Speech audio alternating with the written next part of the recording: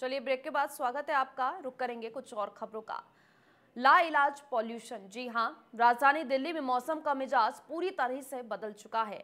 आलम यह है कि दिसंबर के शुरुआती 15 दिन इस बार छह सालों में सबसे ठंडे माने गए हैं। वहीं तापमान के गिरने के साथ ही राजधानी की हवा क्वालिटी भी खराब होती जा रही है। दरअसल हवा की गुणवत्ता और मौसम पुनः अनुमान बताने वाली एजेंसी सफ़र के गुरुवार, यानी कि आज राजधानी का ए क्यू है, जिसके अनुसार आज भी दिल्ली एनसीआर की आबो हवा बहुत खराब कैटेगरी कैटेगरी में बनी हुई है। आपको बता दें कि अगर air quality index A Q I शून्य से 50 के बीच रहे तो इसे अच्छी श्रेणी में माना जाता है। इक्यावन से 100 के बीच में रहे तो संतोषजनक, जबकि 101 से 200 के बीच में रहे तो इसे मध्यम माना जाता है। वहीं हवा की क्वालिटी 201 से 300 के बीच रहती है तो ये खराब श्रेणी में आता है।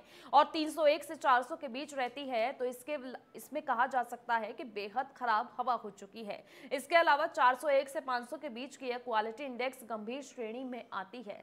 तो लगातार दिल्ली एनसीआर का पॉल्यूशन अभी भी कम होने का नाम नहीं ले रहा है। दिल्ली एनसीआर की आबोहवा बेहद खराब अभी भी बनी हुई है।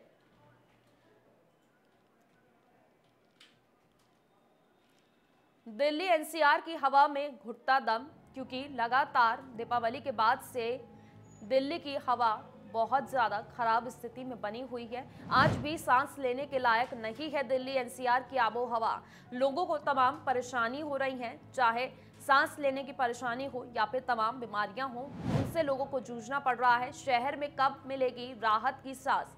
ये एक बड़ा सवाल यहाँ पर बना हुआ है कि आखिर राहत की सांस लोगों को कब मिलेगी? क्योंकि जिस तरह से प्रदूषण बढ़ता जा रहा है, उससे प्रदूषण की मान कब सुधरेंगे हालात? ये सवाल भी लगातार बना हुआ है कि प्रदूषण से हालात सुधरेंगे कब? क्योंकि लगातार सरकार की तरफ़ से भी कोशिश की जा रही है।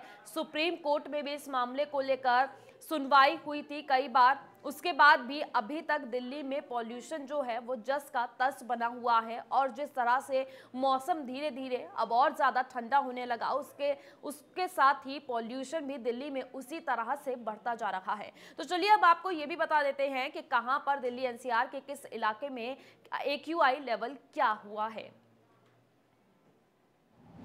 तो दिल्ली में ए क्यू है। इसके अलावा आपको बता दें कि नोएडा में ए क्यू आई तीन सौ पंद्रह है।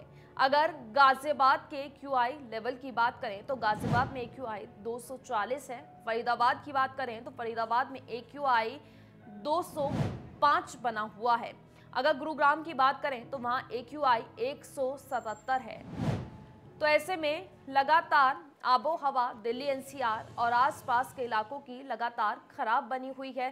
साथ ही आपको ये भी बता दें कि दीपावली के बाद से ही लगातार दिल्ली की हवा में जिस तरह से प्रदूषण बढ़ता गया, अभी हालात सुधरने का नाम नहीं ले रहे, लेकिन जिस तरह से अब ठंड का मौसम आ गया है, दिसंबर के 15 दिन निकल चुके हैं, तापमान में गिरावट देखी जा रही है, उसके साथ साथ ही धुंध भी अब और ज़्यादा बढ़नी शुरू हो गई है। हालाँकि अगर पहाड़ी इलाकों की बात की जाए तो पहाड़ी इलाकों पर ठंड अब ज़्यादा होने लगी है, बर्फबारी होने लगी है, जिससे मैदानी इलाकों में प्रदूषण और ठंड बढ़ने लगी है।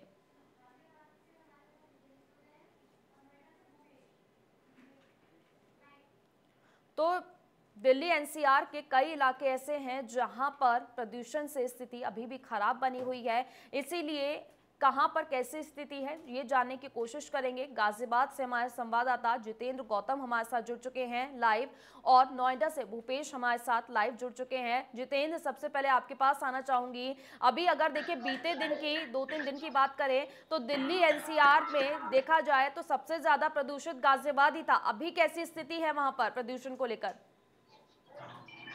जी, बिल्कुल देखिए, गाजियाबाद की अगर बात की जाए तो गाजियाबाद में प्रदूषण का जो लेवल है, वो लगातार बढ़ता हुआ नज़र आ रहा है। जहाँ लोगों ने उम्मीद लगाई थी कि जिस तरह से बारिश होगी और उसके बाद जो हवा चलेगी, उससे प्रदूषण लेवल कहीं ना कहीं कम होगा लेकिन ऐसा नहीं हुआ है। अगर गाजियाबाद के इंदिरापुरम की बात की जाए तो वहाँ पर 245 के आसपास प्रदूषण लेवल है। अगर संजय नगर और वसुंधरा की बात की जाए तो वहाँ पर भी 245 के आसपास का लेवल है। लेकिन सबसे बड़ी बात यह है कि गाजियाबाद के लोनी की बात की जाए तो वहाँ पर तीन सौ है जो कि बेहद ही ज़्यादा खराब है। जबकि उस इलाके में सबसे ज़्यादा प्रदूषण इसलिए है क्योंकि वहाँ पर इंडस्ट्रियल एरिया जो है उन पर किसी भी तरह के सरकार का किसी भी तरह का कोई रोक नहीं है। लगातार लगातार आदेश तो आते हैं कि हमने ये जुर्माना लगा दिया है, ये तमाम चीज़ें हमने किया ये हमने एक्शन लिया है। लेकिन वो जो है, वो जब जमीनी स्तर की बात की जाए तो वहाँ से वो गायब होता है। लोनी में आए दिन तार जलाने जैसे और कूड़ा जलाने जैसी जो घटनाएँ हैं, वो आम हो चुकी है और जिसके चलते लोनी का जो प्रदूषण है वो काफ़ी बड़ा हुआ है। जी। बिल्कुल जितेंद्र, जिस तरह से देखिए आप बता रहे हैं कि कूड़े जलाने की घटनाएँ होंगी या फिर इस तरह के मामले लगातार सामने आ रहे हैं, लेकिन देखिए लगातार प्रशासन भी इन सभी चीज़ों को लेकर सतर्क है अलर्ट है फिर इस तरह की चीज़ें क्यों हो रही है कि कहीं पर कूड़े जलाए जा रहे हैं या फिर कुछ और चीज़ें जलाई जा रही हैं? देखिए इसके लिए अगर जिस तरह से कूड़ा जलाया जाता है तार जलाए जाते हैं और इसके अलावा बहुत से ऐसे मटेरियल हैं पन्नियाँ वगैरह हैं अगर उसको जलाया जाता है तो बहुत ज़्यादा प्रदूषण बढ़ता है।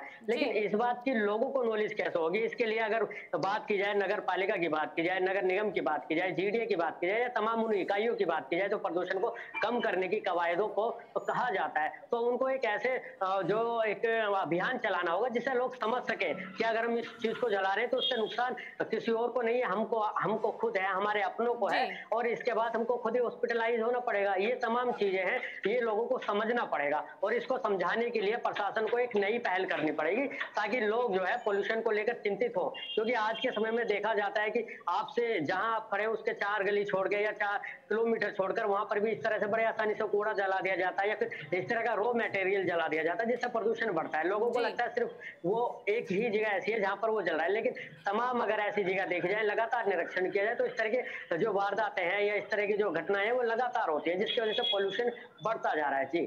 बिल्कुल, जितेंद्र, और देखिए, जिस तरह से अब प्रदूषण तो अभी कम नहीं हुआ है, ठंड अब और ज़्यादा बढ़ने लगी है। हम धुंध देखते हैं, सुबह के समय में विजिबिलिटी बहुत ज़्यादा कम हो जाती है, बहुत ज़्यादा क्लियर नहीं दिख पाता आगे का। तो ऐसे में देखिए, अब और ज़्यादा ठंड बढ़ेगी आगे आगे कोहरा भी पड़ेगा तो प्रदूषण कम होने के कहीं आसार नहीं नज़र आएँगे। जी बिल्कुल। देखिए अब जो प्रदूषण है वो इस पर डिपेंड करता है। जब उत्तरी उत्तर भारत में जब हवाएँ चलेंगी तो वो हवा जो है पूरब से होते हुए उत्तर प्रदेश और तमाम दिल्ली होते हुए नोएडा होते हुए वो जो है वहाँ से गुजरेंगे। अब उस हवा की स्पीड पर डिपेंड करेगा कि उसकी हवा कितनी है। अगर हवा पाँच से दस किलोमीटर के अंदर ही रहती है तो वो जो प्रदूषण के जो कट है वो आपके आसमान में दो सौ से चार सौ फीट से नीचे ही रहेंगे। अगर हवा तेज चलती है तो कहीं ना कहीं हो सकता है कि जिस तरह से पॉल्यूशन बढ़ रहा है वो कम हो। अब ऐसे में सबसे बड़ी बात एक ये भी है कि जिस तरह से विजिबिलिटी कम है और इसके अलावा ठंड बढ़ रही है और दूसरा पोल्यूशन का जो लेवल है वो किसी से छिपा नहीं है। तो इसके चलते अगर लोगों की बात की जाए, उनके स्वास्थ्य की बात की जाए तो अगर अस्पतालों में बात की जाए तो लगातार जो है इस तरह के मरीज़ आ रहे हैं जिनको गले में प्रॉब्लम है, जिनको सांस लेने में दिक्कत हो रही है। तो ये तमाम ऐसी चीज़ें हैं जो जिनको समझना होगा। जी। बिल्कुल चितेंद्र और देखिए जिस तरह से आपने बताया कि लोग जो हैं, लोगों को अभी समझ नहीं आ रहा कि प्रदूषण जिस तरह से बढ़ रहा है, ये उन्हीं के लिए हानिकारक होगा। लेकिन इसमें कहीं ना कहीं प्रशासन की भी गलती है कि उन्हें लोगों को जागरूक करना चाहिए कि इस तरह से कहीं भी बाहर कुछ चीज़ें ना जलाएँ, पन्नियाँ ना जलाएँ या कूड़े ना जलाएँ। जी, बिल्कुल। देखिए, इसमें अगर कहा जाए नगर निगम, नगर पालिका या फिर जीडीए इन तमाम लोगों की, जो प्रशासनिक अधिकारी हैं, कहीं ना कहीं उनकी कमी इसमें खलती है कि वो लोगों को किस तरह से अवेयरनेस करें, किस तरह से जागरूक करें। इसको लेकर अगर चाहिए तो एक बड़े स्तर पर इस तरह के प्रोग्राम्स लगातार होने चाहिए ताकि लोग समझ सके। अब जैसे सर्दियाँ आते ही, जो प्रदूषण बढ़ता है और फिर जब गर्मियाँ तेज होती है, तब जाकर प्रदूषण बढ़ता है। लेकिन ये दो से चार महीने ऐसे होते हैं, जिनमें सबसे ज़्यादा प्रदूषण बढ़ता है आठ महीनों की बात की जाए तो वह कम रहता है। लेकिन उन आठ महीने अगर लगातार अवेयरनेस लोगों को किया जाए लगातार उनको बताया जाए कि अगर आप इस चीज़ का नुकसान कर रहे हैं या अगर आप ऐसी हरकतें करते हैं तो इससे कहीं और किसी और को नुकसान नहीं होगा आपको खुद होगा चाहे वो इनडायरेक्टली हो या डायरेक्टली हो तो वो समय पर निर्भर करेगा। तो ये तमाम चीज़ें लोगों को समझाने की ज़रूरत है लेकिन नगर निगम या फिर तमाम ऐसे प्रशासनिक अधिकारी ऐसे हैं जिनको इस चीज़ की शायद हो सकता है हम कह सकते हैं कि समझ नहीं है या फिर उनके पास इतना समय नहीं है कि वो लोगों को इस तरह से समझा सके और लोगों को इस तरह से अवेयरनेस किया जा सके ताकि आने वाले समय में जब अगले साल सर्दी आएँगी या फिर अगले साल तेज़ी से गर्मियाँ बढ़ेंगी तो लोग समझ सके कि हाँ ये पोल्यूशन भी है और सर्दियाँ भी हैं। आपको दो धारी दो धारी तलवार से लड़ना पड़ेगा, इसलिए समझदार होने की ज़रूरत है। जी। बिल्कुल जितेंद्र, और देखिए, यहाँ पर हम, जैसे अब बच्चों की बात करें तो बच्चों को भी प्रदूषण से तमाम परेशानियाँ होती हैं। बड़ों को ही जब इतनी परेशानी होती है तो लिहाजा बच्चों को भी होती होंगी। ऐसे में अब देखिए, स्कूल भी खुले हुए हैं तो ठंड भी लगातार बढ़ रही है, प्रदूषण भी बढ़ रहा है तो बच्चों को भी परेशानियाँ होती होंगी स्कूल जाने के लिए। जी बिल्कुल। बच्चों को पूरी तरह से परेशानी होती है क्योंकि जो प्रदूषण होता है वो सबसे पहले जो अटैक करता है वो बच्चों को अटैक करता है या फिर बुज़ुर्गों को अटैक करता है या फिर गर्भवती महिलाओं को अटैक करता है। ये तीन कैटेगरी है जिनको सबसे ज़्यादा पोल्यूशन से नुकसान होता है। अब बुज़ुर्ग जो है अगर वो घर में बैठे हैं और जो महिला है वो भी घर में बैठे है। लेकिन सबसे बड़ी बात है कि बच्चों को स्कूल के लिए निकलना पड़ेगा। ऐसा तो है नहीं कि गाजियाबाद में सब एसी स्कूल है या सब जो एयर है वो फ़िल्टर होकर स्कूल में जाती है। इस तरह की कोई व्यवस्था तो है नहीं। तो कहीं ना कहीं ये है कि बच्चों को भी और या फिर स्कूल प्रशासन को भी और खास तौर पर गाजियाबाद जिला प्रशासन को ये चीज़ सोचनी पड़ेगी कि जिस तरह से पोल्यूशन बढ़ रहा है कहीं ना कहीं बच्चों के स्वास्थ्य को भी ध्यान देना पड़ेगा क्योंकि जिस तरह से कोरोना की तीसरी लहर आ रही है उसमें भी कहा जा सकता है कि बच्चों को सबसे ज़्यादा खतरा है क्योंकि वो वैक्सीनेटेड नहीं है। ऐसे में पोल्यूशन का भी खतरा होगा सर्दियों का भी खतरा होगा तीसरा खतरा आपका कोरोना की तीसरी लहर का होगा। तो इन तमाम चीज़ों को समझने की ज़रूरत है और वक्त रहते इनको दुरुस्त करने की ज़रूरत है। जी।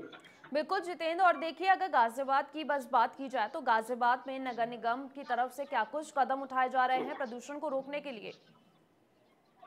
जी गाजियाबाद की अगर बात की जाए तो नगर निगम की तरफ़ से वो तमाम सड़कें ऐसी हैं जिन पर वो एक दावा करते हैं कि हम यहाँ पर जो है जल का छिड़काव करा रहे हैं। लेकिन वो जल का छिड़काव कितनी देर रुकता है? ये सबसे बड़ी बात है। अगर आपने सुबह करा दिया है नगर निगम पूरी ताकत से लगा दे तो भी पूरे गाजियाबाद की खासकर सिटी की इतनी सड़कें हैं कि वो उन पर लगातार जो है जल छिड़काव नहीं कर सकता है। और दूसरी ओर अगर पॉल्यूशन की बात की जाए तो लगातार जिस तरह से कूड़ा जलाया जाता है तो ज़रूरत है वहाँ के लोगों को जागरूक होने की और उन लोगों के खिलाफ एक जो है कैंपेन चलाने की या फिर उन लोगों के खिलाफ शिकायत दर्ज करने की। ये तमाम चीज़ें ऐसी हैं जिसके चलते खुद नगर निगम भी अकेला पड़ जाता है। जी। जी, चलिए ठीक है जितेंद्र, आपका बहुत बहुत शुक्रिया हमारे साथ जुड़ने के लिए और इस तमाम जानकारी के लिए।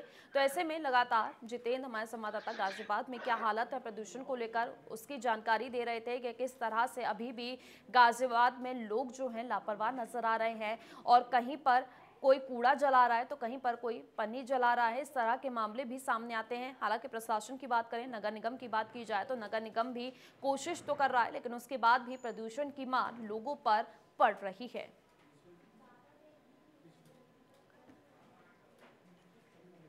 तो दिल्ली एनसीआर में प्रदूषण अभी भी, आपको बता दें, लगातार बरकरार है, बना हुआ है, जिससे लोगों को तमाम परेशानियाँ हो रही हैं। पहाड़ी इलाकों पर बर्फबारी हो रही है, जिससे मैदानी इलाकों में ठंड और ज़्यादा बढ़ गई है। तापमान में गिरावट आ गई है, इसके साथ साथ ठंड बढ़ रही है तो धुंध भी अब नज़र आने लगी है कई जगहों पर। इससे आपको ये भी बता दें कि धुंध आने की वजह से प्रदूषण भी अब कम होने का नाम नहीं ले रहा है। विजिबिलिटी बहुत ज़्यादा कम हो गई है।